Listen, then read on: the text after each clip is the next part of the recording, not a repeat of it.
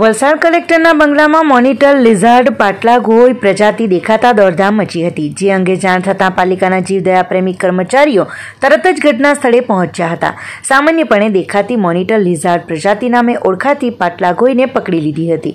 Tithal road ઉપર આવેલા કલેક્ટરના બંગલામાં સોમવારે સવારે પાછળના રૂમમાં મોટી ગરોડી જેવું કંઈક નજરે પડતા બંગલામાં ફરજ બજાવતા કર્મચારીઓ અને ગાર્ડ દોડી આવ્યા હતા. આ મોટા કદની ગરોડી જેવી દેખાતી મોનિટર લિઝાર્ડ ફ્રીજ પાછળના ભાગે સંતાઈ ગઈ હતી.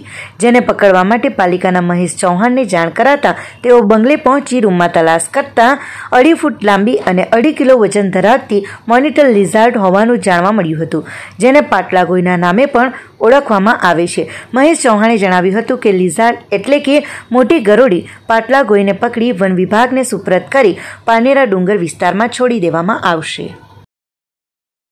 આ ગોય મેં માન્ય શ્રી કલેક્ટર સાહેબના નિવાસસ્થાન પાસેથી પકડી અને પાટલા ગોય કહેવામાં આવે છે. આ ગોયને ખોટી માન્યતાના લીધે કે એને ખાવાથી કમરનો દુખાવો બંધ થઈ જાય છે અને એનું જે તેલ નીકળે છે, તે તેલ લગાવવાથી ગમે તેવી દાજેલી શરીરનો અંગ હોય તે જલ્દી સારું થઈ જાય. એમ કરીને એની લગભગ કિંમત પાંચથી છ હજારમાં લોકો ખરીદી લે છે આને. ખોટી માન્યતાને લીધે આ ગોય એક એવી વસ્તુ છે કે ઇતિહાસમાં બી લોકો કિલ્લા ચડવા માટે આનો ઉપયોગ કરતા. અસલ, રાજા લોકો ને એ લોકો.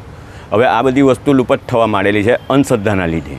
પણ આવી કંઈ પણ વસ્તુ જો તમારે અહીંયા નીકળે, તમારો મોબાઈલ નંબર છે nine three seven five eight two eight one zero one સંપર્ક કરીને અમારી પાસે પકડાય, એટલે અમે સુરક્ષિત જંગલમાં છોડી દઈએ. આનું વજન લગભગ અઢી કિલો વજન હશે. અને અઢીથી ત્રણ ફૂટ જેટલી એની લંબાઈ હશે. એમાં એવું કે આવી કોઈ પણ વસ્તુ તમારા ઘરમાં આમાં મોટાભાગે શું કે આ વસ્તુ ખંડેરમાં ને એ બાજુ જ ફરતી હોય છે.